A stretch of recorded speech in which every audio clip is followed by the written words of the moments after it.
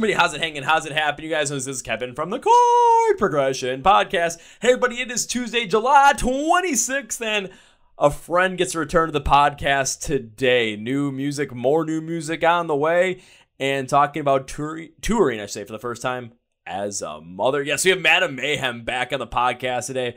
Great friend of the podcast, and I can't wait for you guys to hear the interview that we did with her. But first, I want to thank today's sponsors and support for the podcast. Well, it's July, it's late July. You know it's summertime, and everyone a lot, especially a lot, talks about looking good for those warmer months, but few have the balls to do it. We all want to do it, but few have the balls to do it. Well, it's time to nut up or shut up and take the easiest step into looking sexy this summer by using Manscaped. So, Manscaped it's ultra smooth package. Make sure that you have the proper care down there and the Boxers 2.0 gives you the perfect stage to show off that new look. And these products, let me tell you, they may make you look hot, but your cleanly shaved nethers will keep you cool. And the Boxers 2.0 patented jewel pouch technology, you know, stuff that protects your family jewels, will keep your boys from turning any beach day into a swamp day. You ever have swamp?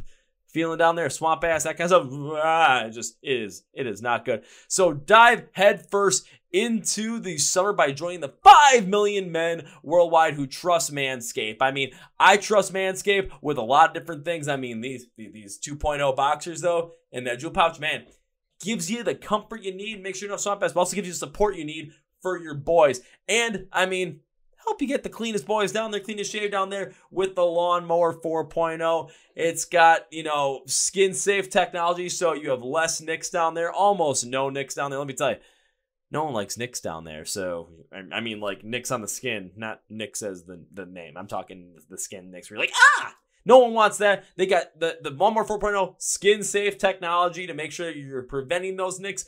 On top of that, it's also waterproof. It's got an LED light as well, so you can see what you're doing down there. And I will forever stand by their crop preserver ball deodorant. And the reason I say that is because, well, let's be honest. I got big legs. I go to concerts all the time, and I'm constantly down there, so I got problems with chafing. Since I started using the crop preserver anti-chafing ball deodorant in 2020, chafing that's been a thing of the past since then, man. So definitely suggest using that. So again, dive headfirst into the rest of summer by joining the 5 million men worldwide who trust Manscaped and get 20% off and free shipping on your entire order by going to manscaped.com forward slash CPP. That way you'll get that 20% off and that free shipping. You can use that discount code at checkout or you go to manscaped.com forward slash CPP.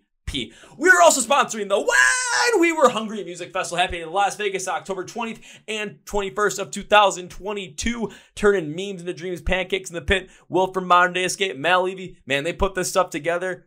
Again, a meme turned to a whole full-fledged festival, two-day festival in Vegas. You're going to be out there because Pancakes in the Pit. This is the festival for people. This is, if you miss Warp Tour, this is the festival for you. They've got bands like Modern Day Escape. Well, of course, Modern Day Escape. They've got bands like Outlier. They got bands like Saving Vice. They got bands like Along Came a Spider. They've got another band like Varsity. And they got Palisades. And they got many more. Why did I mention those six? Because those six have been in the podcast before. They got many other bands on there like Dropout Kings, Tiny Moving Parts, the original lineup of a Skylit Drive, and many, many, many, many, many, many, many more. So go and check that out. Go get your tickets now at whenwewerehungryfestival.com. Link, to the, uh, link is in the description of the podcast.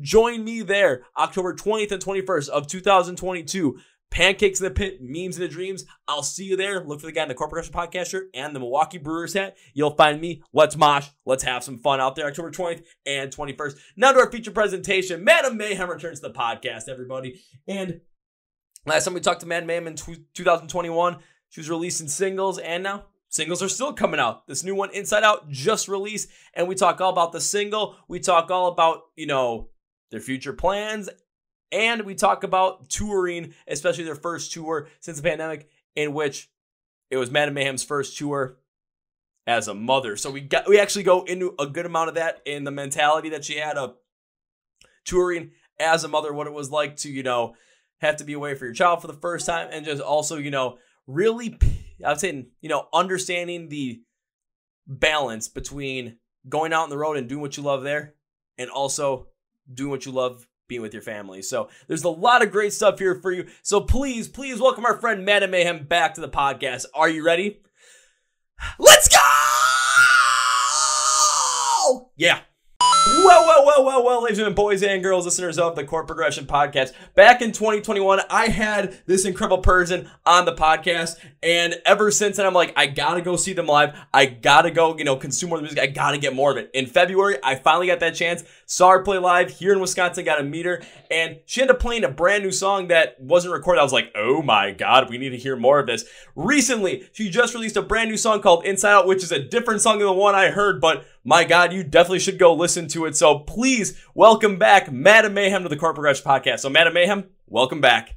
Thanks for the intro. That was awesome. oh, I've got to get. Me. I've got to give that like full on, you know, like energetic intro because I, I, was it. listening Inside Out before I started this. I'm like, okay, now I need to really pump up the energy. What's going to get me going that way and that positive, uplifting energy? The new Beartooth single. Let's roll it for like 10 minutes and now I'm ready to go. There you go. That's the way to do it that is the way to do it. So starting out with, I mean, how's everything been going for you? Because I, I haven't seen you in four and a half months since the, the tour came through with uh, Uncured and Versus Me through here in Wisconsin. Yeah. And the podcast audience hasn't seen you since I believe it was March or April of 2021. So, I mean, how's everything been?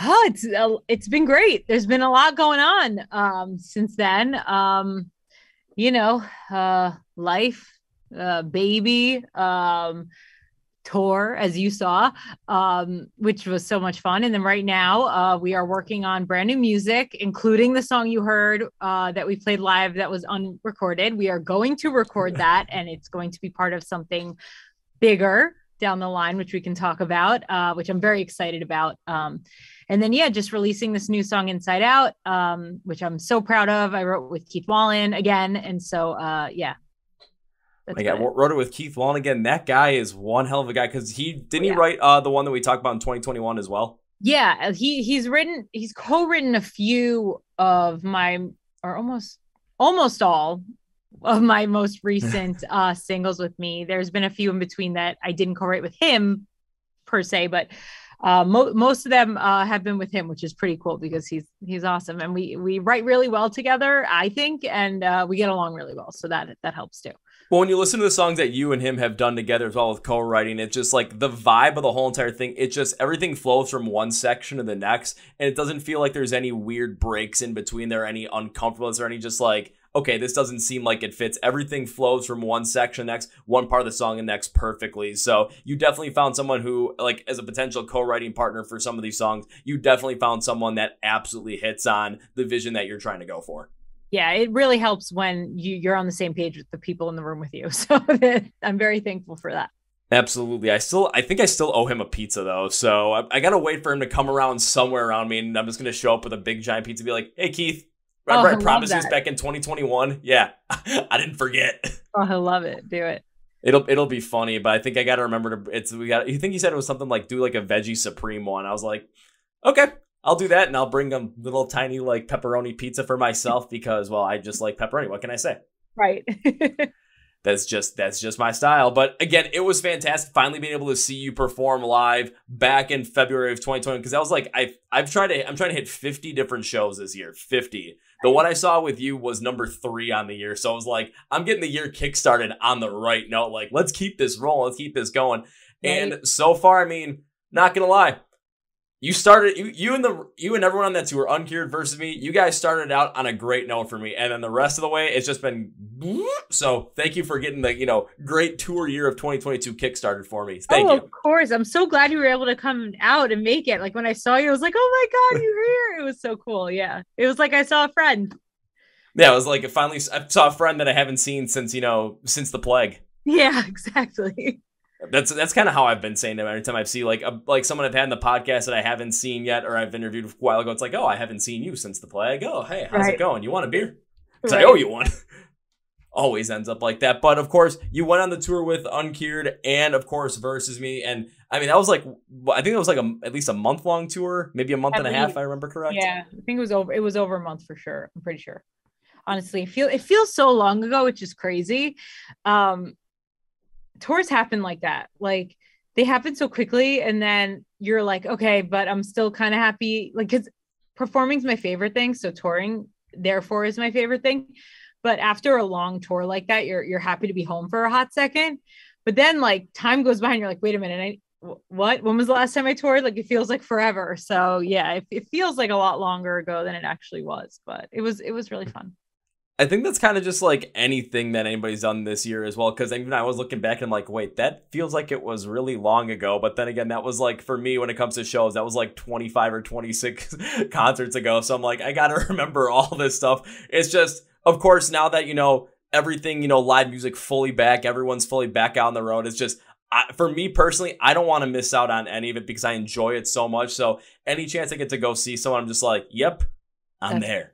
That's awesome. So it's like we're making it happen. So looking back at that tour with Uncured and Versus Me, like what do you remember most about that tour? What were some of the highlights of it? Be- and what was it like touring with those two bands as well? Because I remember I saw you, I think it was on the fourth date, and I mean, there were a lot of other dates on the back end as well. So what was it like on that tour? What was like touring with those guys and everything in between? Well, I, I mean, for me, it was really special, I think, because it was like the first time. I mean, my band and I got to see each other only a couple times uh, during lockdown and the pandemic time. And so it was really special to be able to like be with them and hang out with them and like, you know, because normal and because everything else that we we had done on our way to this, like during lockdown, like it was either virtual or like I think we did we did a music video together. We worked on a live a live stream together, but like that was really it. And so this was really exciting because I mean this is what we do. We perform live, like we do it together on stage. We feed off each other's energy, and so that was really special. Just to it, it felt like a really cool reunion. Um, that we hadn't had in a really long time. And it was also really cool because I got to meet all the fans again and I got to see familiar faces and meet new people. And, you know, as you know, I, I work at the merch after my set. And so, um, I mean, I, I genuinely enjoy doing that. It's really fun to meet everyone and, and to kind of watch the rest of the show. And so it, it just kind of felt like getting back in the groove of, of, you know, of what it was before. Yeah, it's yeah. like, you know, when you take a look back, you know, think about 2019 and before the whole entire pandemic, even early 2020 as well. It's kind of like you had that groove, you had that feel of going out and playing live, connecting with everybody. Then all of a sudden, March of 2020 hits and we all get shut in our houses, shut in our rooms. It's like, we can't go anywhere. What is going on? And for all of us fans of live music or from yourself on the performance side of things, we're all sitting here just like, no! On both sides as a performer and as a fan i was freaking out you know because i go to shows too you know? So it was uh, yeah i definitely felt everyone's you know pain. Um, but i'm glad you know that we're able to get out there again. Um, it was a scary time for a while. I mean i know that some people are still suffering with it so i'm not i'm not going to go on and say it's over. Um, i want to be sensitive to that because that, that's important but also i'm just really glad that we were able to get back out there and i'm glad that we're you know able to do these things again because for for us and for our mental health i think it was really important for us as, as well you know can you go a little bit more into that? Because I, I love talking about the mental health side of things, especially when it comes to music, whether it's listening to music, recording it, or especially experiencing live music, whether it's on stage or whether it's in the crowd as well. So, going out on tour, what was that like for your mental health in more of that positive light? Yeah, I mean, for me, this so as much as I love writing and recording, it's it's very fun to be in the studio and create. Um, the stage and performance and being able to sing my songs live is what I've always loved to do. Um, ever since I was like a baby. I know that sounds crazy, but as soon as I could be on a stage, I was on a stage. And so that's really my home and my comfort. And so to be able to be out on stage again and then to have crowds um, who kind of like it's it's like your rock and metal family, right? Like these are people that no matter if we have different backgrounds or no matter what you're going through, like we all come to the same place to experience the same thing whether you're the performer or you're the audience. And so that's always been such a special thing for me.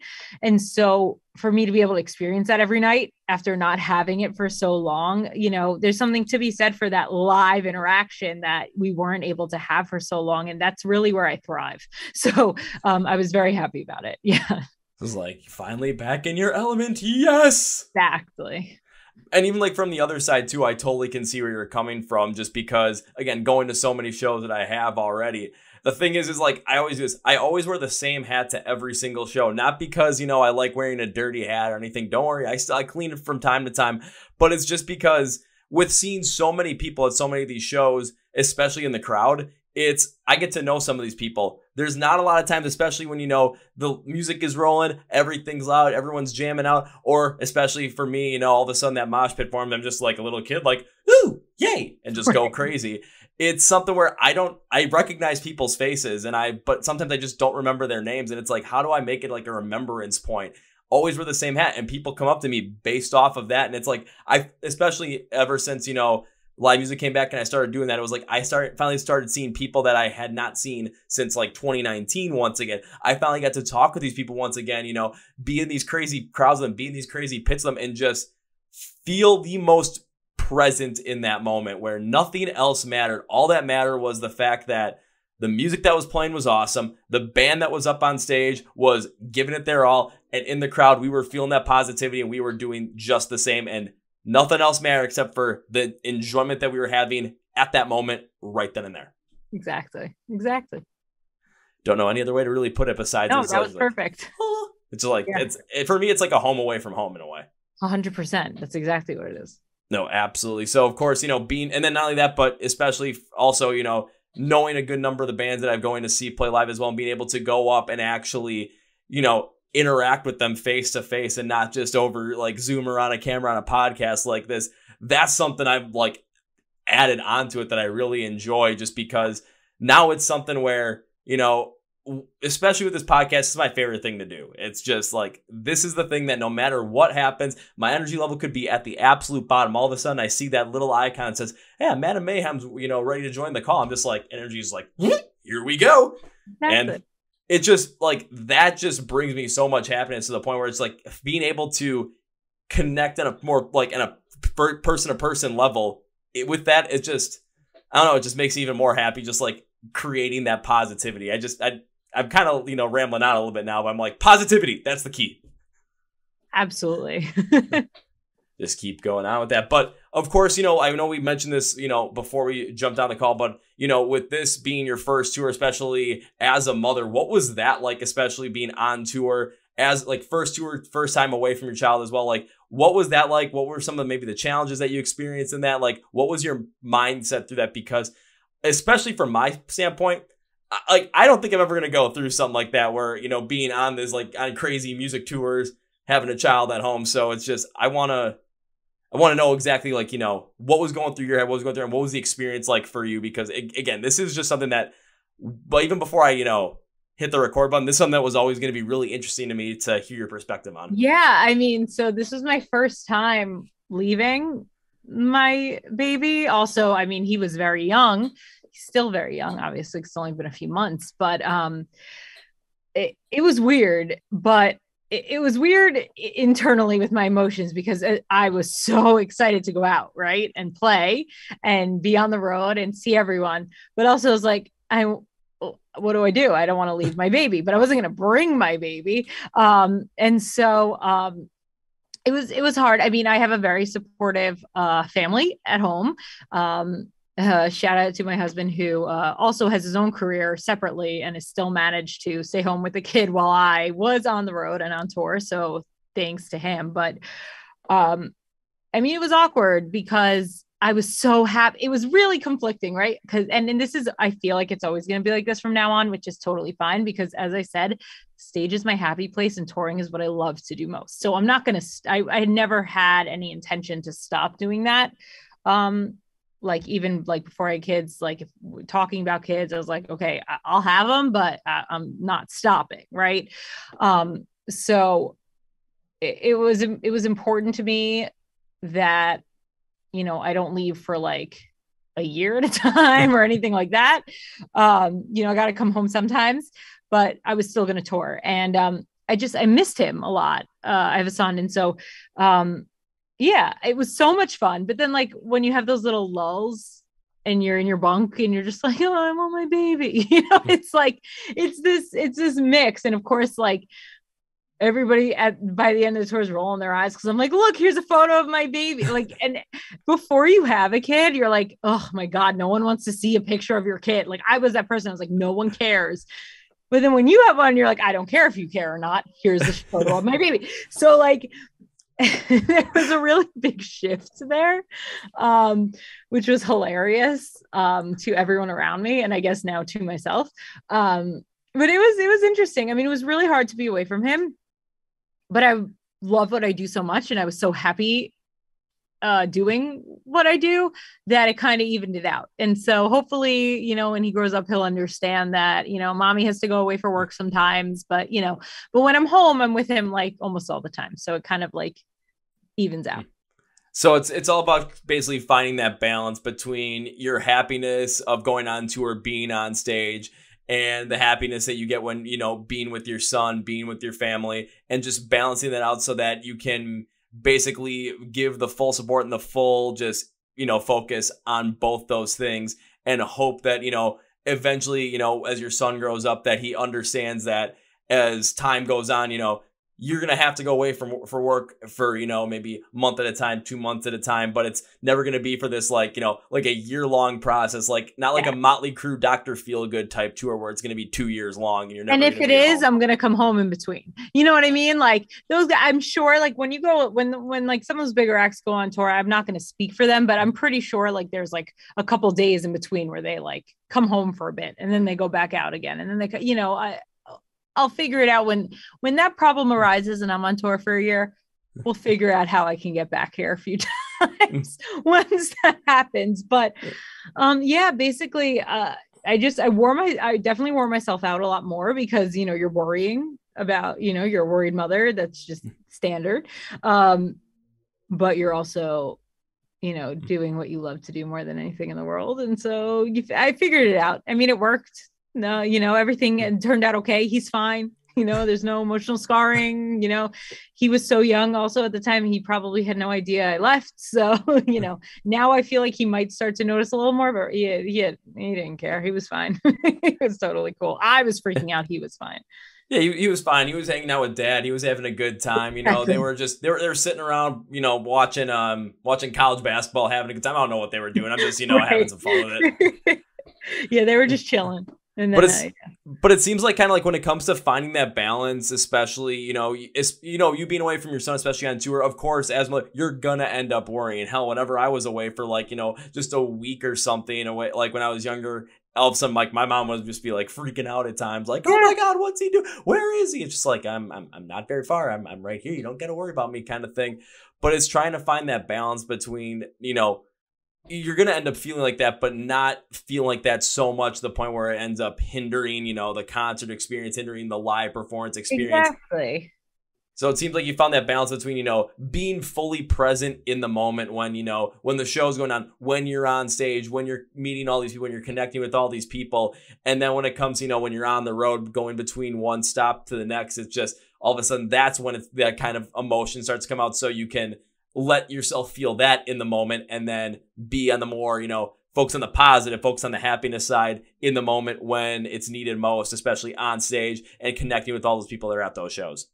Exactly. I mean, because again, that's that's where I'm most comfortable, right? So it, it kind of just turns on. And I had the stage before I had the kid, right? So like that's that it feels very familiar and it, it's home to me. And so it was very easy to be able to turn that on and off, you know.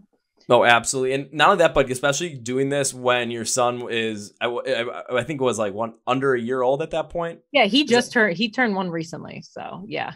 So, so I'm assuming He's only a big, month old. yeah, so I'm assuming there's a big one, like one year old birthday party that happened. You know, big giant balloons, and uh trying to think what what are one year olds into these days. I have no idea. Nothing, because they're one. it's, it's just, these are the things you learn. Uh, they don't care.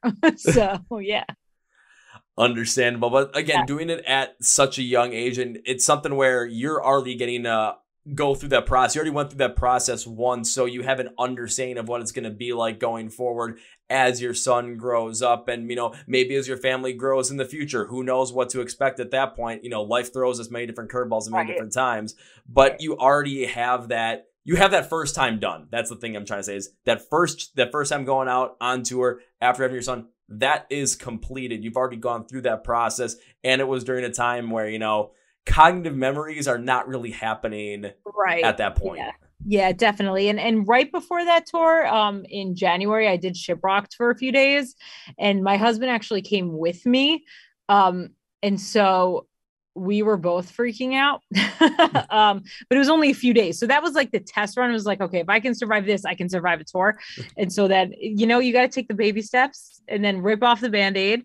And now I'm totally comfortable with it. And I know it'll be hard every time. I'm not going to say, I'm not going to lie and say it's not going to be hard, but um, my passion hasn't changed. And my desire to go out and tour and perform live has not changed at all. And, and, um, you know, some, but that does, that's not always the case for all people. Um, but for me, um, you know, I'm just as motivated and determined to do this and as passionate to, to perform as I've ever been. And so just got to make it work. I'll say keep that passion and keep that motivation because when it comes to happiness, it's from just the way you're speaking as well. From what I'm picking up is you know, your happiness, especially deriving it from the stage, deriving from the live performance, is there. You also have happiness when it comes to your family, when it comes to being with your son and everything around there. And you don't want to end up sacrificing one for the other. You want to find a way to make sure that you're both you're doing both and you're both present with both when you're at that moment. And have having that mentality, having that understanding, having the motivation to do it. I mean, keep it rolling, keep it going because it's it's it's one you get one chance at life. It's and it's your life. So do it the way that you want to do. It's going to make you happy, and along with you know being the best support that you can be for your son, and also enjoying your time on the road as well, performing, exactly. li- living your life on the stage as well. Exactly. Exactly. Now there is one thing that you did mention that I do kind of want to jump a little bit further into because it was something I did pick up on. I actually have talked about on a podcast before with uh, Tyler from the band Hollow Front. And it was about you know, as your child grows older, it's like, you know, you having to go away for work, going on tour as well.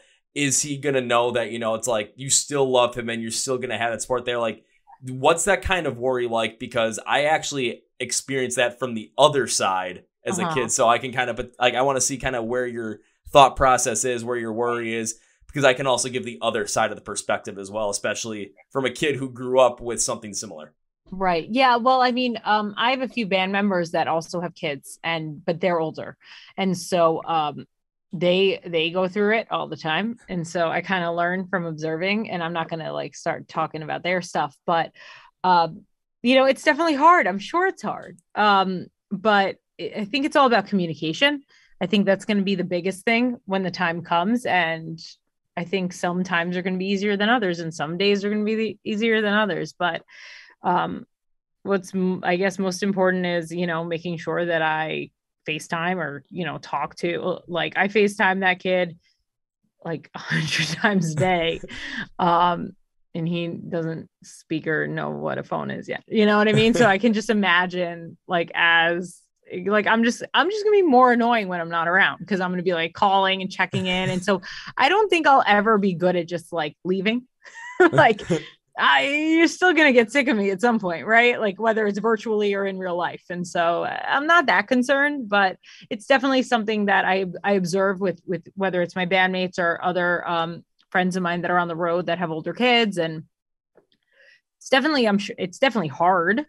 Um, but I think there's also eventually a time where it'll click and they'll get it. And as long as you spend as much time with them as you humanly can when you're not, you know, away, I guess, you know, I'll do my best. All I can say to that really at this point is, well, in summation is, my God, you basically have like the mindset right for this. Oh, not, good. Not, not, Thank you. Because good to know. Because yeah, like for me, when I was growing up, especially as I got into like as I got into school and everything, it was I would really only ever see my dad maybe one day out of the week. And it wasn't that it was like he was traveling for work. It was something where I would go to school and he'd be sleeping because he works second shift. Right. I come home from school, he's at work, and then I go to bed, he's still not home yet. So I didn't get to see him, you know, Monday through Friday. Saturday rolls around, he would work in the mornings as well and work into the afternoon. So it was like I may get to see him Saturday night and and some of Sunday. Right. And, and this was going on for shoot. I mean, this is this was going on for ever since like I was in like first grade, and then it continued on for a long time even after that. But the thing is is there was never any question between myself or my brother the the support that my dad would give us right. on top of that the reason why he was doing something like that why he was working so many hours was to put food on the table to you know support the family the best that he could and one of the ways that my brother and I really picked up on that and really understood that was because when we had the chance to actually see him, it was he was present in that moment. He was there. It was you know, we in grade school we're playing like basketball or whatnot for for our grade school teams, and he would take the time and still come and show up to the games. When I was in high school, yeah, my, I played soccer in the afternoons, and like for my high school team, there were times where he would just take you know a couple hours off of work just to come watch me play. Right. Just the fact that you know he still put all that time and effort when he when he was able to be around to do that but then also when he was at work, the fact that we understood the reason behind it, that's where that respect came in. That's where that understanding came in from my part. And that's where just the utmost, you know, inspiration and uh, I'm trying to like aspiration to be at like of that level came yeah, from. Exactly. So, that's amazing.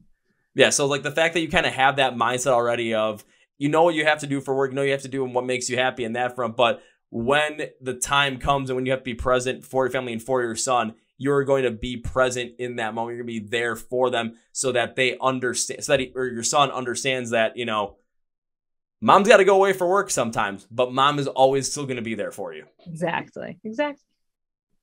And if you're, I'll say this, if you're looking for like uh, something to listen to, uh, again, because I mentioned this, I talked to Tyler from Hollowfront about this. On their recent album, he wrote a song called Dear Sons, which is coming basically from your exact same perspective, hoping that his kids know exactly why he goes out, why he goes out and tours, why he has to be away for on the road right. at times, why he does this thing, and why he does it for them, and that he still loves them. Say, so listen to that song, just pick up on it because you might really resonate with it. Awesome, I definitely will. That's cool. Like, just, just kind of adding a little bit more, you know, just like a little bit more, just the fact that again, a lot of people go through these things. A lot of people have dealt with these as well, especially in music. But again, it's going to be a little bit different for everybody. But the fact of the matter is, just talking about this, being able to, you know, pick up on your mindset where you're coming from. Oh man, you got it right. Yay. I'm so, glad. So, you know, at that point, you know, shoot off some fireworks, uh, just go woo, and we'll have yeah. a good time with that. Good. and now that you know you're done with tour, you're back at you're back at home ever since the tour ended. I think it was either late March or early April. Recording new music, working on new music, and re- just releasing Inside Out. I mean, even when you're home, it's like the stuff never stops, and you're just again being present in the moment when you're. We have to be present in the moment with your music, and then when you're with your son, being present in the moment with your son. And now I want to focus on the music side of this stuff because you got a new song out called Inside Out, and I know you said there's even more to come, but my God, that's a lot of music. Yes, yes. Um, well, this song Inside Out. So basically, when you last saw me, we, as I said, like we played one. uh we were promoting our single "I Am More," um, and then we also threw in there in our into our sets uh, a song that we hadn't recorded yet. And we kind of wanted to get the fan reaction, uh, which was great, which we're very happy about. And so when we came back, we are like, okay, we're going to record this when we get off the road, whatever. But as we were doing it, we were like, you know what? Like we haven't released, like I've, I've been releasing all these singles for for the past few years and it's been great but I personally love albums and I love, you know, getting something like a cohesive thing. Um, and the band does as well. And so we are like, you know what? Like, let's not just stop at this. Like, like let's just take a minute, write a shit ton of songs, and um, see what we come up with. Obviously, that song is gonna make the cut for for the future that you've already heard. So you you already got a sneak peek. Um, but um, you know, so we are working on that right now. We've been writing, I've been writing with my band a lot, which is really cool because now you're going to get, you know, I, co-write, as you know, with a lot of different people because I like to keep it fresh and I like to, you know, kind of challenge myself. So I try to change it up. And then obviously I can write multiple songs with the same person or whatever it is. But I haven't really had the opportunity as much to write like with with the band as a band and so we're we're kind of doing that now more than ever and I think it's really special because you get to watch us play the songs that we also wrote like that each person kind of wrote their part and and it and it's going to be something new and really awesome i think for the for the crowd to experience even more uh, than they have before. And then i'm also co-writing with a bunch of other people as well. And so we're getting as many songs as possible. And then hopefully in the next couple months we can uh, you know finalize and record a bunch of songs and um, have have something cool out. But in the meantime as we were doing this there was a song inside out which is out now um, that I had written and recorded and finished with Keith. And we were trying to find the right moment to release it. And I wasn't sure. I was like, am I just going to throw this in like with the songs that we're doing that we're writing now? And I was like, no, no, no. This thing needs its own release. It's its own special thing. And um, I didn't want to take away from that. So we decided to just release it now while we're still working on new music um, to kind of give the fans something else to hear. And, and the song kept like resonating with me every time like i was like going through my catalogs and this i was like okay this song this song this song so i was like okay i have to just release it and so that's what happened with that and then there will be another single hopefully uh, sooner than later um, that has also already been completed that i can't really talk about yet but um, it's done and ready to go and so as soon as we get the green light to release that uh, we will as well and then that should be able to hold people over for you know, a big release with a whole lot of more music in between. So, yeah. Well, just before we go a little bit uh, further on that, for everyone listening, yeah, we aren't really going to go into that next song right now because we'll do a whole nother one of these when that song releases. Trust me on that one because Yay. this is too much fun and we're not going to stop doing this. So, but of course, when it comes to Inside Out as well, it makes sense to especially to release it as a single because what with the stuff that seems like you know you're writing right now for this collective album that you're going to end up releasing some point in the future especially if you're writing it a lot more you know especially if you know everyone else in the band is writing their same parts as well. It kind of have a little bit more of this understood feel more of this cohesive feel and compared to you know co-writing with some other people as well which also works like you said to challenge yourself to maybe step outside your comfort zone. But it also kind of works at the same point in time too where okay those could be a little more than the single side of things the ones that the whole entire band creates, that could be the whole cohesive album and the whole cohesive unit that is Madame Mayhem. Right, exactly. So there's a little bit of, there's a bunch of singles on the way, and then there's mm. something a lot bigger to follow mm. as well. So I mean, that's just make that just gets me even more excited. It's not gonna lie. It's such an exciting time, I'll tell you. I know I'm mm. home and I'm not performing live. It drives me nuts, even though we are playing a mm. festival next weekend. So I'm I'm thrilled about that. But like I'm just it's exciting. It's like we're still working on a million things that sometimes it's a little overwhelming because there's like so many cool ideas and there's so many different hmm. songs. It's not like, okay, here's one song. It's like, oh, look at this, look at this, and things are flying around. But like it's awesome. Like I love it when everything's just kind of happening, even though, you know, unfortunately the fans and the listeners don't always get to see the behind the scenes, even though we're going to try to document as much as we can. And we're going to, and I try to share as much as I can on social media, but sometimes it's like, okay, we got to not worry about the rest of the world and just kind of like focus on the music so that everyone will like what we come mm-hmm. up with later. Uh, but it's it's been a really exciting time, and I'm tired, but I'm really happy. I don't sleep much right now, but I'm really thrilled about it. It's like that happy exhaustion. It's like I've been working so much, and I'm just like, but it's on everything I love to do and everything's coming together perfectly. So it's just like exactly. Uh, exactly. I could use a nap though. I definitely could use a nap. Naps are nice. I'm not naps. good at them, but if I ever can do them, I like to attempt. oh, oh, I, I'm I'm with you on that one. I I'm not good at napping until you know all of a sudden it's like okay, just a random point during the day. It's just like all right, you know, could turn on a movie or something. It's like, okay, you know, got like a half hour or something just before I have to get going on some. Alrighty, you know, maybe I'll just like lay down for a bit and all of a sudden just not supposed to sleep and then boom, I'm out for two hours and I wake up like, shit. Yep, that's how it works that's exactly how it works.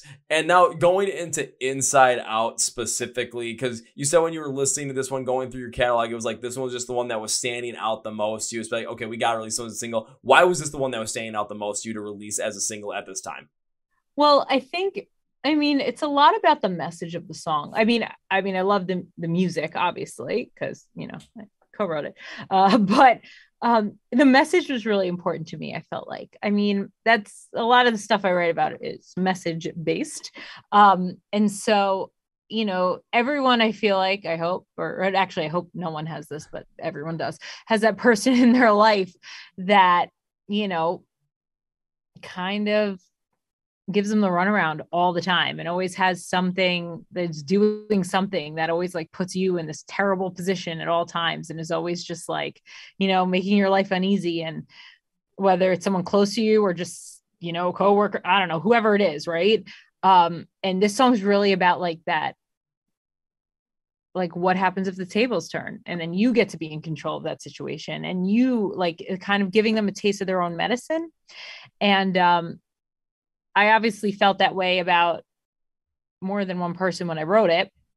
Um and so when it came time now to release it obviously we all have positive things going on in our lives things you see you know social media whatever but like also people have really hard things going on in their lives and people deal with people that you know do these things to them. And so I was also going through that as well. And every I feel like everyone does because there's always that person whether it's a loved one or just a terrible person you know it could be either or uh, in your life um, that that that happens um, and so I just wanted people to be able to relate and people to be able to feel good about the fact that you that they don't have that power over you. You know, you my biggest message, as you know, especially with the I Am More song and Cruel Heart, is we are all stronger than we know. That's I say it all the time. It sounds really cheesy, but it's really true. Like it, it's important to remind yourself. It's important I remind myself even because, and I think that's the real reason why I wanted to release it. Besides the fact that I love those riffs in the song and I love the harmonies in the song. And so I was just like, everyone needs to hear this. It's really cool.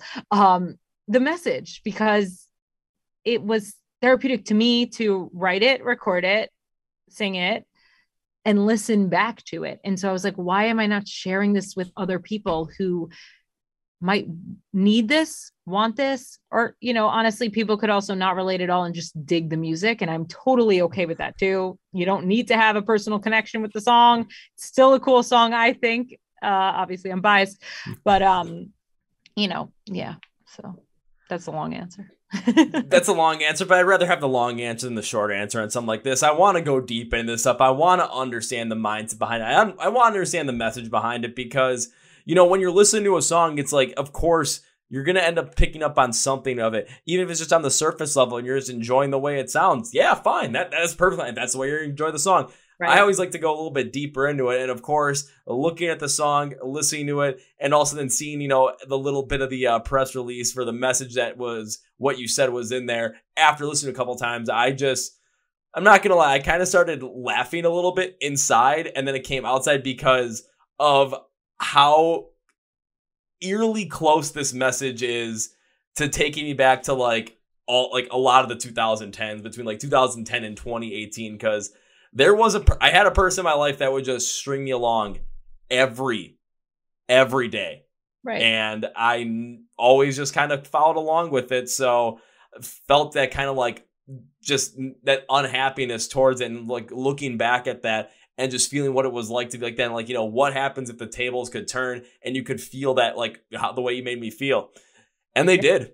And they did. Oh, that's what it is. What happens when you get to play the game that they've been mm. playing and you know just kind of whether you actually get to achieve that or just feeling that way and just understanding that like you are above these people that just keep doing this to you. Like it's there's nothing wrong with you. There's just some messed up people in the world and you know, sometimes you're stuck with them and sometimes you're not. You know, you got to remember mm-hmm. that. Like, so yeah, yeah, that's that's the message.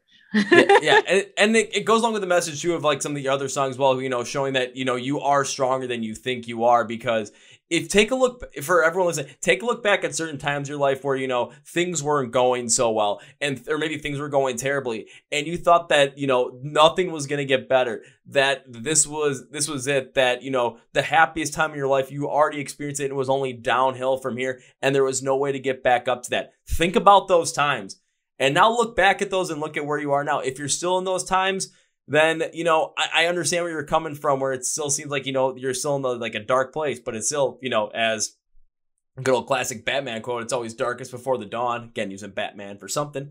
Woo! Now i kind of just went in a different direction with that. But what it basically means is is just you know we all live in those dark times, but take a look at some other dark times in your life and then see where you've come from and how you got out of that. And the fact that, you know, even in the deepest and darkest depths of when you think that nothing is worth it and you know just life isn't worth it anymore the strength that you have inside you can pull you out of that to find what truly makes you happy on the inside and just you know start gaining back your confidence start gaining back your strength and seeing that full force to really gain the happiness that you feel inside. Bring forward the person that you are on the inside and just let that shine and you know live the one life you have the best way that you can live it, which is whatever the inside of you wants to live it as. If it's, you know, you want to end up going up on stage being a musician because that's what makes you happy, hell yeah, go for it. You want to go and fight fires and help people? Hell yeah, go for it. That kind of stuff.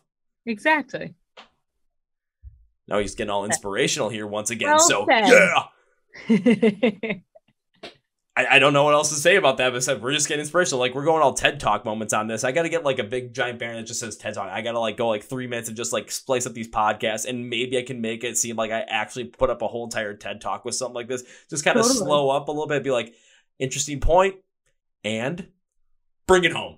there you go. That's cool. just do some stuff like that. But even when you go into Inside Out as well as like really diving into the instrumental composition of this thing, when it comes to that forward, that kind of feeling of you know realizing that there are people in your lives that are gonna and that you know you might be essentially fall victim to to them just stringing you along, them just kind of pulling you along to the point where they're all like they're kind of keeping you around, but they're kind of keeping you further away at the same point in time too. Just the feeling of realizing that, and then also kind of turning the tables on that so that in a way they it's it's not necessarily revenge as I'd put it. I put it as justice because when people are gonna play with you for that long, it's like all of a sudden they get a little bit of taste of what it was like. I mean, it could come off as a little bit of revenge, could come off as a little vindictive, but when it comes across more that, like, you know, this is gonna be something that now you know how it made me feel. Now you're bringing forward the more that justice to it, and maybe the person that was stringing you along, whether it was someone close to you, whether it was just some random person, whoever it might be, maybe that's the thing that makes them change. Exactly. And if they don't, then at least you realize that you're better than that. And in sometimes in the moments you don't even realize it's happening, right? It's only when something clicks and you're like, "Oh, this is happening." Cuz I don't think everyone purposefully has these relationships with people that are like sometimes you you kind of get into it and you understand what's happening, but a lot of times you just something snaps you go, "Oh my god, wait, this isn't this doesn't make sense to me." Um and yeah, and so then you're finally like, "No, wait, like how would you feel if you got a taste of your own medicine you know kind of kind of thing Oh, absolutely. And even like if I'm just taking a look at my crazy amount of notes I took on the song too, because you know I wasn't gonna cheap out on this You're one. not. Like again, jumping into especially that intro, it kind of had that like heavier melodic hard rock guitar. It did remind me of like a mix between something of like a Three Days Grace guitar and a Breaking Benjamin guitar. I'm like, oh, you know, Keith Wallen, co-writer of this track. okay, now I'm starting to see a little bit of that correlation there. But the second half of the intro takes that guitar as a little bit more of this lighter, not as like somewhat menacing of a flair, similar more like the Breaking Benjamin style. And I actually really like this part because the heaviness and the more menacing sound in, the, that intro to then create something with more of this driven anger, kind of more, not necessarily to like be like mad and anger, but more of this like building up of motivation to potentially make a change in life. So you're already starting towards this driving feel of, yeah, someone's someone in my life is you know messing me someone in my life is stringing me along and it's just like it's just not working out and it's like with that intro you're building to that you know click moment to that aha moment of wait what am i actually doing here? Why am i actually in my, this position? This is this is not what i'm supposed to be. This is not what life is supposed to be like. Yeah you nailed it. You nailed it. Should we keep going then? Yeah. Alrighty, then we of course you got the verses of the song as well, and it's like especially it feels like there's like a lower chug, but it's played on the drums and the bass, and then you get one guitar playing a little bit lower, and it's right on the beat. While the while another guitar more like the lead guitar comes in the second half and plays a little more of this. What it sounds like a little bit more of a melodic, lighter tone over the top, a little bit similar to that second half of the intro, but it's a more drop back in the mix overall. And having a lot of these the sounds, especially from the instrumental standpoint specifically, drop back in the mix makes sense as it shows more of that building and building revelation and action to flip the script kind of on that person that's been playing games with you it makes us into this massive you know difference point. I do like to move it to you know show that difference between where you were and where you are going. But the reason why i like just having that drawn back especially in the mix now i got to go to the vocal section of this because the vocal set from yourself it had this more melodic but and a little bit more of the sharper tone at the exact same time too to show that building up that confidence and that chip on your shoulder that you know yeah i maybe am like i'm i don't deserve this. I shouldn't be feeling this. I shouldn't be living like this. So gotta build up that you know strength gotta build up that confidence and that vocal set really did that because again I've gone through that point where someone's been messing with me, someone's been playing games with me for so long, and over time, it's like you start to build up this little bit anger and resentment, but then all of a sudden it evolves to this confidence and chip on your shoulder when you realize what's going on in order to break free from that, potentially flip the script if you have to. The other reason why the vocal set works well is because now it was more prominent in the mix and the verses compared to the instrumentals, which were much further back. And it just made the vocals boom a lot more here. Like you felt like that building up of that confidence, that chip on your shoulder to finally break free from the person that was, you know, constantly stringing you along. You are good at this. You should maybe have a podcast. huh, I never thought about that. Maybe I should start one. Oh, uh, no, that was like dead on, spot on. Good job. I have nothing to say. Like to like you nailed it, nailed it. Thanks. Well, well, I mean, that's just, and of course, you know, you know, you're getting to that point. You know, you're starting to build up, but of course, what's going to be the big thing that's going to end up being the thing that hits? Of course, it's got to be the chorus, right? Am I right? Always, always has to be the chorus. So now let's go into the chorus, shall we? Take a look at the notes. I looked at the chorus.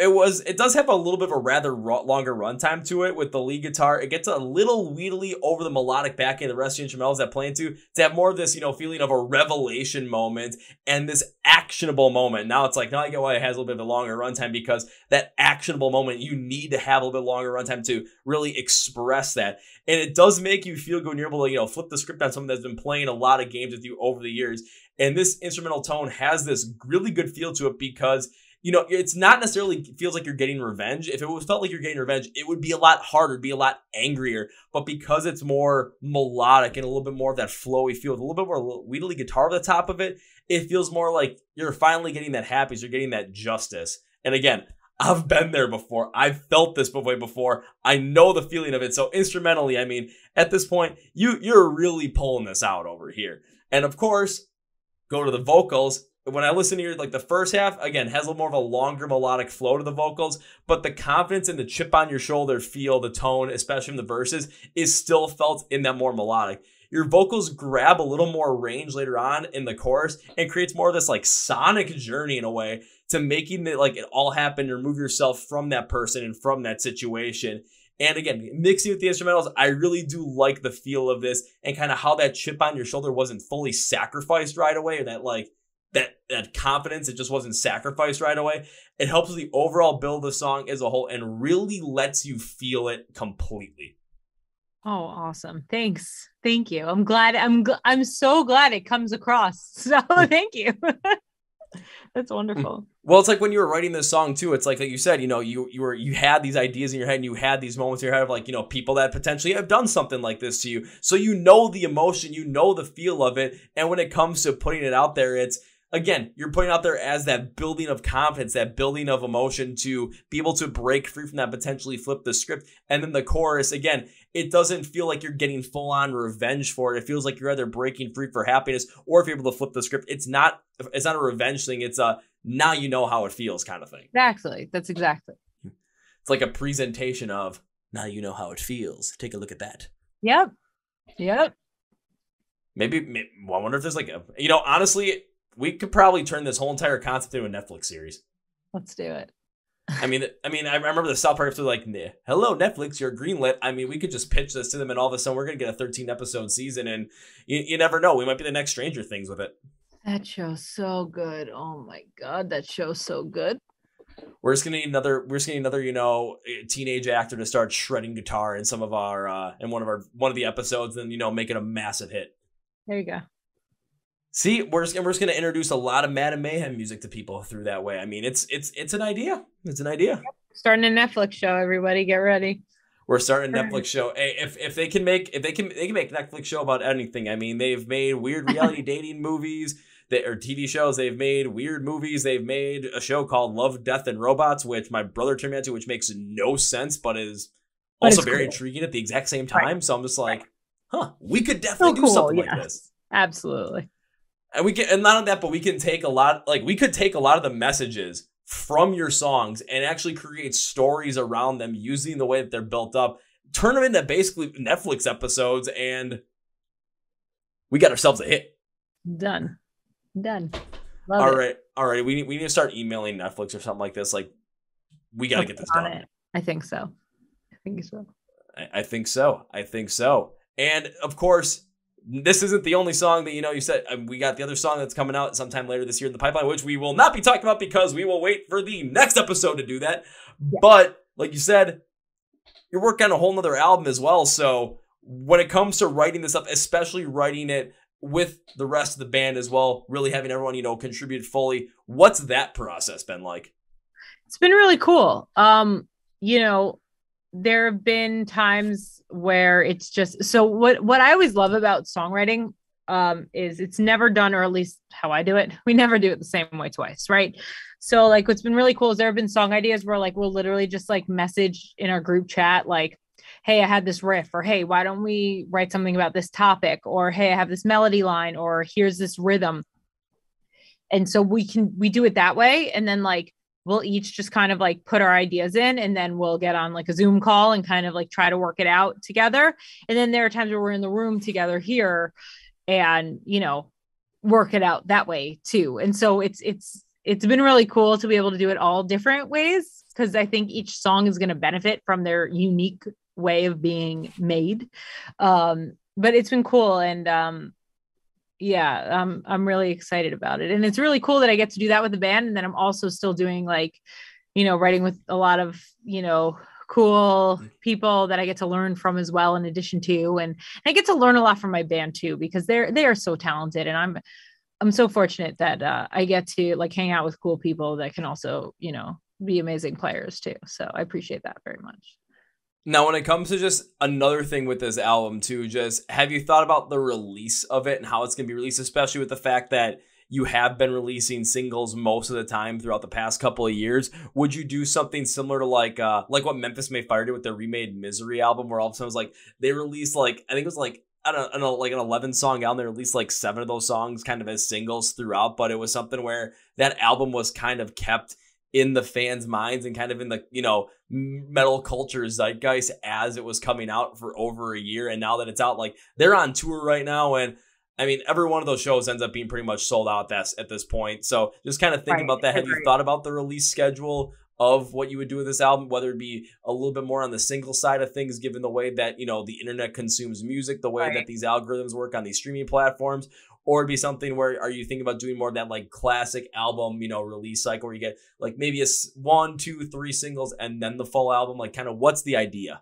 Yeah, I mean, honestly, I because we still have singles that we're ready to release. Um, I'm not too worried. I think once this, I think we'll really know what we're going to do with it when all the songs are done, because there might be a few songs that just like need to have their own, you know, space to shine before the album comes out. And there might you know and so like we don't we really i mean obviously we don't want any fillers either which is really important especially for us for this album and this time in our career. Like this is the time to you know really kick ass and take names. Uh not that it isn't always but like this is a turning point like there's finally like we we've been fighting our way up for so many years and you know things are are slowly but surely starting to happen and then they were happening and then covid happened and then now we're starting to kind of pick up that momentum again that we had right before where we were like never home and just touring and you know doing that.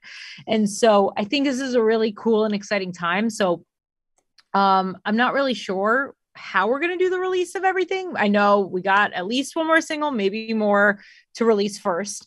Um, and then, you know, we'll see, we'll see what comes out with the songs and, and we'll see, you know, with the team and kind of converse. And by the time it's ready, we'll, we'll figure it out. I'm not worried. First, I need the songs to be amazing, which some of them are already done and they already are, which I think. Uh, but I just, I want everything to be awesome so that every listener, and I don't want them all to be the same see that's the other thing. You don't want to sound like obviously we sound like us because it's us doing it. It's my voice i'm not going to not you know I, I sing how i sing. Mm. but i want listeners to enjoy different different things. It, you know once it's the same song over and over again you don't want to listen to it you just kind of tune it out. So that's that's what's going to be the most fun and so you know we'll, we'll see what happens yeah, a couple of things on that. One, I actually do enjoy the fact that, you know, when it comes to thinking about the release schedule and how that album would be released when it comes to singles, that you kind of just like, what's the plan? We don't know yet, mostly because you're going to let just, you're going to let the album kind of dictate itself. You're going to let the nature of the beast dictate itself. On top of that, you're going to work with the rest of the band to really make sure that this release is going to be the best possible and get all your heads together, get all your minds together. So that's not just like, okay, we're just going to do this and that's it. And then just kind of looking at a potential, you know, I wouldn't say short sighted, but just kind of like, okay, you know, we're going to do it this one way and then that's it. No, you're keeping your options open so that you can openly pick the best option when it's time to come. Yeah, the music comes first, so the music will will kind of help tell us what what we're going to do once it's finished.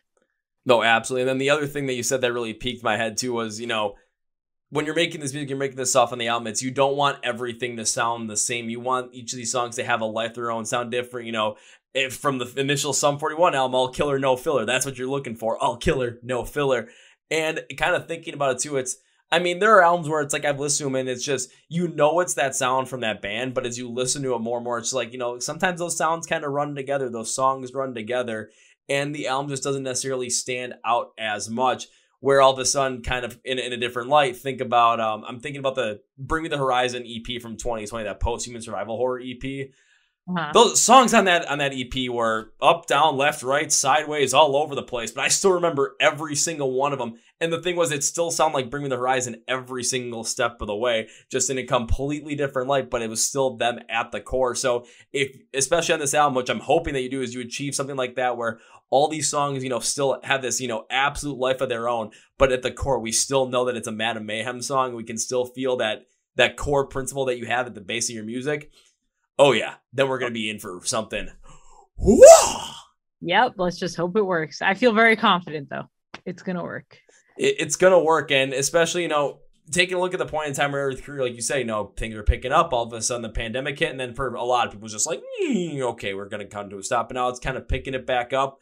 It's the perfect time to, you know, again, taking a look at the songs you're writing, you know, building up on that confidence, showing that strength that you know that you have, that's stronger inside you. That you know, you, sometimes people don't realize, but all of a sudden, as you start working on it, you realize just how strong you are. You're realizing how strong some of these songs can be, how the creative process is for you and the rest of the band, and how this is all going to come together. So when it comes time to release that stuff, I mean, you, never know what might happen. You might all of a sudden see, you know, Kerrang and Loudwire and Alt Press and all these other major publications pick up on it. Just like, why have we not known about Madame Mayhem yet? And I'm just gonna be looking to be like, you should have yes, we will always be very loyal to the people that believed in us before, you know, the mainstream does, you know? Mm. And I will be very happy if more people get to know who we are because that means we get to keep doing what we do. But I'm very appreciative to the people, the core people mm. that, you know, loved us before anything, you know? well, even from like my perspective, I want to, I want you guys to have the most amount of success that you want to have, and find that period of time where all of a sudden, or find that period where with the band success that you get to the point where the success that you have in the band is where is what makes you the absolute happiest. And if you want to go further than that, absolutely. But I want to have that point where all of a sudden you, you know, when it when the time comes, you know, much, much, much, much, much later in life, when we're all, you know, sitting in nursing homes, just like, you know, listening to listening to Semper Sempiternal and just kind of like old like old head just like trying to bang my head all of a sudden right. there goes my neck something like that. Like we're looking back at life and we're looking back at you know especially from your perspective looking back at your music career looking back at the bands it's just like you know what? Maybe was I the most successful? As like in terms of you know like the most successful bands of all time? Did I reach that Metallica level? Maybe not but was I absolutely happy with the life I lived and the career that I had? If the answer is absolutely yes then you won. Like you won life at that point. Yeah, I think the, for the bands and I, you know, we don't have any like fame goals per se, but what we want to do is be able to be successful enough that we can continue doing this and continue, you know, writing, and creating music, continue to tour. And so with that, you need some sort of success in order to and, and recognition in order to be able to do that. But I think it's only for the sake, at least in our cases, and I, I, think I can speak for the rest of the band, like it's really just so we can keep doing this. you know, we just want to keep doing this and like not stop. So um whatever that takes to, you know, whatever notoriety that is in order to be able to sh- to achieve that, I'll I'll do it. And and I'll put it this way right now, from my perspective, if that like that's what's gonna make you happy that's the level of success that's gonna make you happy hell yeah we're gonna help make sure that that happens. And if it's like okay now we want to go a little bit further than that that's gonna make us happy boom we're gonna be right here for you and be like let's do this shit. You're the best. You're awesome. now I'm just like I'm getting even more amped up for the for you know I know I'm not gonna be able to go to bed after this. I'm just so excited right now that's what happens anytime I do like a podcast that's later on the day. I'm just like, I'm too excited right now. What am I supposed to do? I gotta get to work on this stuff because, well, sleeping, that's not gonna happen. Exactly. Exactly. Honestly, I should I feel like I should just try and like run out and like find like a little like, you know, small shit local show that's happening. All of a sudden it's like, ooh, local hardcore show starting at nine like, you know, nine PM my time. Well, this is a way to get out that energy after this podcast That and keep it definitely a way to positive. And and then all of a sudden, you know, tomorrow will show up for a different podcast, and all of a sudden, big gash on top of my eye, and it's just like, what what happened there? I was in a good place. Yeah. I was in a mosh pit, Yep. and my head split open. How you feeling right now? Never better. Never better. I remember that time my brother came to one of my shows and um I like told like I, this was like years ago right? And so my it's my my younger he's only two years younger than me but he's my little brother right? And Mhm. so comes to the show and he loves all the same music I love but like he he's he he looks like he does like uh, you know he's like incognito right? And so he looks super like not rock or punked out which which i love and that just goes to show you never judge a book by its cover right? And so like because i have people in my life that like you'll never guess what they're into. So he comes out to the show. He's in obviously in the front because you know it was me playing. And i slowly I- there's like a mosh kind of starting right behind him and i slow as i'm performing i slowly this is a Mushroomhead show okay? So i slowly see him backing like looking and backing like he's he's trying to get in that mosh pit and I'm like, you better not. And so like I'm making, I'm performing, but I'm making faces, and I'm like, but don't, don't- like mom's gonna kill me if you get in there. And like, because again, like for me to do something, it's fine. But when my little brother was like, oh my god, like I'm gonna get in so much trouble, like. And then finally on the mic, I was like, Adam, don't dare get in that pit. Mom's gonna kill me. Like, get out. It was so funny. I was like, yeah, this sounds really badass for Madame Mayhem, doesn't it? Like to get her brother, just because, like, again, it's my little brother. Now he's also very tall. Like he was fine, but like, and this was his one. Well, he's always been to all my shows, but this was like one of his first. I mean, this was his first Mushroomhead show, and they're awesome, and their fans are awesome. But like, you know, they know they know how to throw down, and I had never seen him throw down, so I didn't know what to expect. Um, he he was great. He did a great job. Everyone was very respectful. Um, I was freaking out on stage. Um, yeah. So uh, that was fun I can't believe you actually called him out. I called him out because he. Well, the good news, like the show didn't stop. Like I'm pretty sure someone was soloing, but like you know how sometimes like when I'm on stage, I'm like, "Hey, what's up? Oh, hey, I see you. How are you?" I'm like, "Hey, Adam, get out of that pit!" Like right now, like it was like he was like, "Are you joking right now? Like you can't." Do-. I was like, "You're my little brother, and uh, mom and dad are be very upset." And they're not going to let you come to any more shows if you get hurt. So, but he didn't. Everything was fine. They're super cool. Like everyone was awesome but that was like one of the first this is a long time ago but that was a very early on experience where i was like very nervous to bring my brother to a show um for good reason obviously but everything turned out fine but yeah when you every time you i think mosh pit i always think about that and i'm just like oh my god crazy can't believe he did Holy shit! That, that that just makes me like smile and laugh isn't that more. just- Well, Yeah, because like from my perspective too, if all of a sudden like I'm in the pit and I hear someone yell out to someone like, "Hey, better not go in that pit," I'm just looking. I'd be looking around like, "Wait, what's going on?" And just kind of just you know that's gonna no, be something. luckily no one really paid attention so it was great and like nothing stopped and it kept going but like he heard it and that's all that mattered he knew i was talking to him and i could see because again we're we're siblings like we know each other's like facial expression like i knew i knew what he was gonna do he did it and i had to call i was like good it was great just kind of had that look of just like I'm just gonna. Um, he's just like looking around like gonna- i'm just gonna just i was gonna- like you better not you better yeah he did see, if, see, like if that was me, and all of a sudden I heard someone like, "Oh, Kevin, you better not get in that pit," I would just go, "Watch me, woo!" Yep. Yeah. See. Yeah. He did. Yep. Yeah. That's the early. Yeah. That's like overprotective big sister right there. That's that's what that was. But he was fine, and now he can run into whatever pit he wants. To. I'm totally confident he'll be fine. I'll say, first, so I was nervous. I'll say now it's like you know if you're if you're playing a show and the pit gets going, all of a sudden your brother is there and he turns around instead of saying, "Adam, don't you go near that pit," and be like, You better get in that pit, otherwise I'm gonna be really, really angry at you. Right. Next time, be like, get in that pit. but you know, yeah. And at that point too, I'm hoping I'm at that show because I'll be the one the pit just looking at him going, "Come on!" Right. Exactly. And then he'll probably charge right at me, and I'll just be like, "Alrighty, let's have some fun with this." And then of course, probably someone will end up getting knocked down, and then we'll look at each other, we'll pick each other back up, and then we're just gonna go around again and have a good time. Exactly. That's what I love about at least our fans, and that the fans with bands that we've opened for is everyone so far has been really good to each other. No one's knocking people when they're down already and everyone's helping each other up. And and that just you know you have to be at a rock show to or a metal show to see it. Because if like someone who's not into this goes oh you were in a pit. And like is everyone just beating each other up? It's like no no you you need to come and see what this community is and see what it really is before you say anything or do anything or you know so i i just yeah everyone's really awesome and i'm really thankful to our fans for for being very cool Oh, absolutely. I mean, when those you kind of have, it's it's you you have to understand kind of like what's going on in there and understand why people are doing this. It's because that's the way that we're really enjoying these shows. That's the way we're really feeling. That's the way we're spending the time in the moment. And it's a great way to just, you know, for us just to kind of let any kind of, you know, anger out there having. We're not throwing fists or anything, you know, it's all it's pushing and the shoulder checks and that kind of fun stuff. And of right. course, someone falls down, you know, people are coming up, picking them up. There's other people like me that'll come across, go like this, like around them. So it's like, you know, no one accidentally runs into them because I've had that happen to me a couple of times on mm-hmm. accident, though. I have to put that on accident. But like, especially what you said, there's a lot of people that look at it like, you know, you went in a pit. What the heck?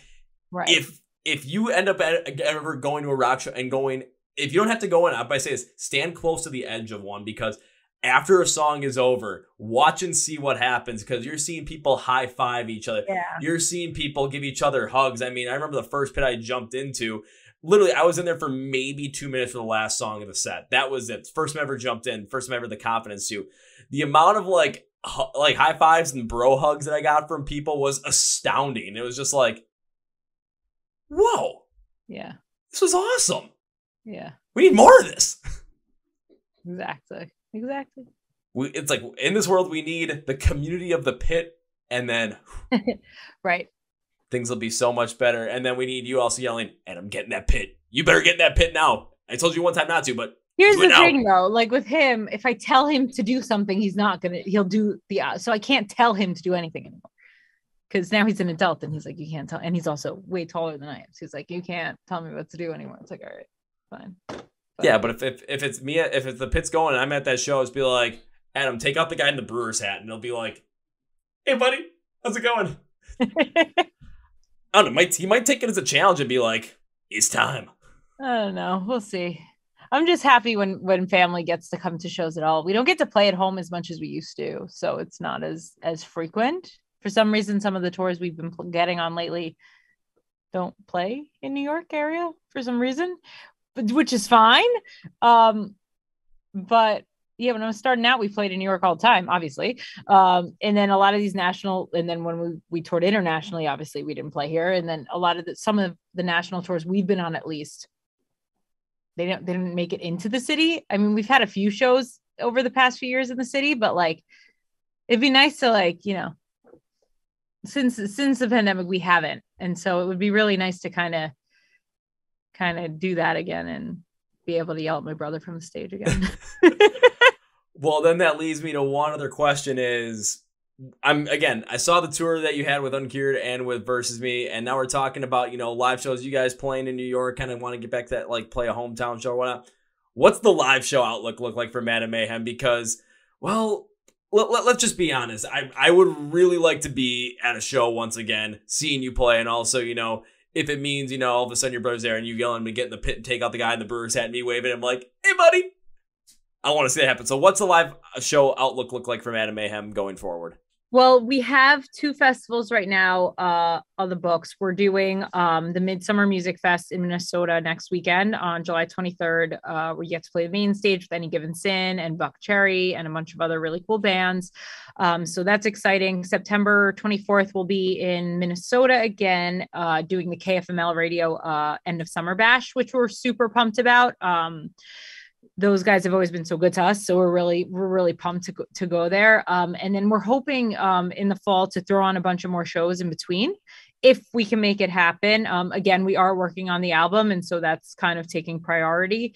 Uh, but when I'm not on stage no one's happy around me so like i need to play shows. Um so there will be more shows uh that we will announce soon and then you know hopefully once once the new album is done we can kind of go full force again. But there will be shows here and there maybe a little small tour you know coming up in the next few months. So everyone just keep an eye out on madamemayhem.com we'll be able to announce as everything gets finalized keep everyone keep an eye out for that because I'm keeping an eye out for that because if I see a Madame Mayhem show that I'm able to attend, you better believe I'm going to be there. So um, please come back to Wisconsin. Oh my god, I would love to. Please. Wisconsin, every everyone's so awesome there. Oh my god, yeah. Anytime I can go back there, I'll be there for sure. We just like our we just like our music, we like our beer, and we like just having a good time. So Yep, my kind of people. I love it. Absolutely. So I'm gonna I'm gonna be you know every I'm I'm always you know keep a look and just see when people release tours and stuff, release schedules and stuff because I mean like I said way I'm I'm aiming for 50 shows this year, and I'm not talking like oh 50 different bands. I'm talking about you know just shows that I'm seeing, just days I'm going to shows. I want to see. I'm going for 50. Okay. Nice. If it means that, you know, all of a sudden to get to that 50 means seeing Madame Mayhem one more time, you better believe I'm going to be like, hell yeah, that's exactly what I want. I want to go see the show. If that's number 50, let's do it. Thank you. Yes, let's hope, let's try to make it happen. We'll do our best. We'll, we'll, we'll do our best, even if it's like number 49 or 48. Well, what if it's 51 though? If it's 51, then we we overachieved. That's the thing. we overachieved then. There you go. Awesome then, then that means I have to go even more in 2023. I'm just gonna be like, oh god, how am I gonna go more than like you say I have to go like up to 60 or 70? I'm just gonna be like, I need some more money. Yeah. oh, it's hard being a rock fan, isn't it? I know from experience. You spend a lot of money on tickets, but it's always so worth it. I always do it. I'm like, oh, like it hurts initially, and then you're just so excited for the show, and then you're there, and you're like, oh yeah, okay, I get. Oh, it it it, all, it always hurts initially whenever I see the yeah. price. I'm just like, oh man, this is uh this is gonna take a little bit of a chunk out of my bank account. But then I'm like, wait a minute, that show's not for like two, three months. So by the time that show actually comes, I'm gonna forget all about the money I actually spent on it. Like right. Like there's shows I've spent money on. It's like, oh, I've you know I spent almost a hundred bucks to go to that show basically because of how big of, the, of a show it was. But then I look back, I'm just like, wait, I already spent that money. Like it's it's already gone. I've already like made peace with it. So now I'm just focused on enjoying like gonna enjoy the show when it comes up, and then just well throw down and hopefully hear the hear someone on stage go, "Hey, you get in the pit," and all of a sudden just me wave and be like, "Come here, it's right here. Yep. Come on." Yep. have some fun with that. Well, as we bring this podcast to conclusion, you know I always like to give you a chance to say whatever you want to say, plug wherever you want to plug, promote whatever promote at the end of the podcast. So, Madame Mayhem, the floor is yours. Well, uh, everyone check out madamemayhem.com uh, for any new updates and things that are coming your way because there will be a lot of it. Make sure to please, please, please listen to our new song, Inside Out, uh, streaming everywhere you stream music. Um, and yeah, just keep an eye out. There's a lot of cool stuff coming keep an eye out. A lot of cool stuff coming. So now it's time for this podcast with another three things. So first things first, yes, Inside Out is available now, and there's going to be more new music on the way in the future. On top of that, there's you know shows are gonna be on coming your way in the future, so you want to know about all this stuff. So the best way to do it is to follow Mayhem on all social platforms. Watch the music videos that Madame Mayhem has put out there. Go to the website to go check out everything you need to check out there when it comes to potential tour dates, potential release of new music, and of course to get some merch as well. And also you're gonna want to stream the music, download the music, buy music, and just support Mayhem in any way you can. So you're gonna want to go do all that. So let me help you out with that. Go to the description of the podcast, see where it says Find Madame Mayhem online. Links and labels for socials, website where you can get the merch, you can get tickets for those shows, where you can stream it and uh, the rest of music, buy it, download, listen to it, all that kind of stuff is be down there for you. So go and click those links and go like their stuff, subscribe, follow, share, listen, buy, whatever it is. Support Madame Mayhem. That's the way to do it. Got all the links there for you. So do it. Thank you.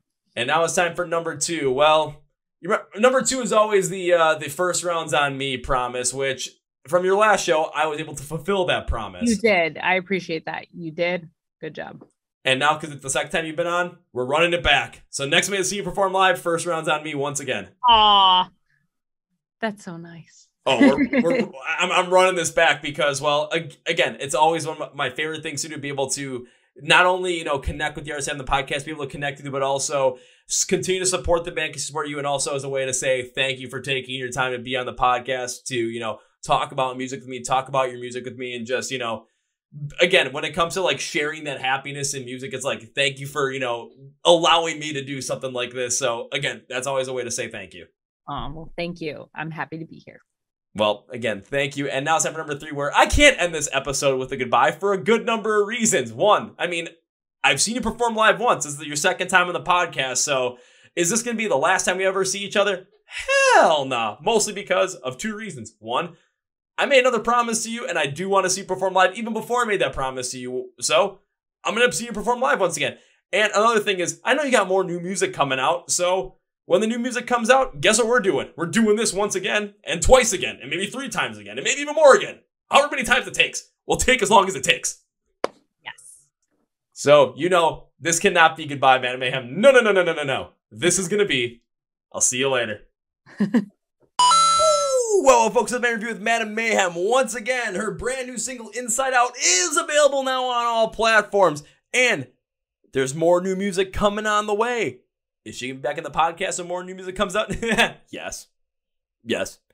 On top of that, they've got shows coming up as well. Two festivals up in Minnesota. On top of that, more shows coming along the way. So you want to make sure you support Madame Mayhem. Make sure you're in the know with everything and make sure you're following along with the band every step of the way. So go to the description of the podcast where it says Find Madame Mayhem online, where you can follow the band on all social media accounts, where you can watch your YouTube videos where you can stream music, buy music, download, download music, find where they're going to be playing near you, get those tickets, and also buy some merch as well. So please buy some merch because it's Madame Mayhem, yeah. You're going to want to buy some merch, yeah. Am I singing weirdly, yeah? Yeah! Also, be sure to follow the Chord Progression Podcast on Facebook, Twitter, Instagram, and TikTok as well for all your crazy podcast content. On top of that, make sure you're subscribed to the podcast where you can watch it on YouTube or you can listen to it on Spotify, Podcast, iRadio, Amazon, and wherever else you can get your podcast as well. So please subscribe. Please continue to support us. And if you're already supporting us and sub- subscribe to us, thank you. And if you are just subscribing now, welcome to the family and thank you. If you're not sure to the podcast, you watch the one, you're like, I don't want to subscribe. Will you please reconsider? But also for, you know, stop by, watch the podcast, listen to it. Thank you. Thank you guys for, you know, supporting this stuff. This is like my favorite thing to do. So let's just keep this rolling, keep this going. I'm, I'm so happy we get to keep doing this. Again, I want to thank our sponsors, podcast for this podcast. Again, remember, Manscaped. Oh, yeah. You know, like they said, dive first, head first in summer the rest of summer, I should say, the Boxers 2.0 to make sure that any day is like a day at the beach and no day turns into swamp day. Remember, 20% off and free shipping by going to manscaped.com forward slash CPP. And you can also use the discount code CPP at checkout for that 20% and free shipping. Remember, we are all sponsoring the When We Were Hungry Music Festival, October 2021 in Las Vegas. Tickets are on sale now, so go to whenwewerehungryfestival.com to go get your tickets. Moshers the Pit, Pancakes the Pit, Memes and Dreams. We'll see you out there. Thank you once again to Madame Mayhem for being in the podcast. I love having her on the podcast, being able to talk about so many different things around music with her. And I was not expecting her to talk about the time when she told her brother not to go in the pit, and he just did it anyway. That was a great story because I'm just like, that, that's me. Like, that's what I would do. If someone told me, Kevin, don't go in that pit, I'd be like, ah, bye. So, on that note, that's to be for me, guys. Thank you for listening to the Chord Progression Podcast. My name is Kevin, and you guys know how I am every single one of the big, healthy, and hearty. See ya!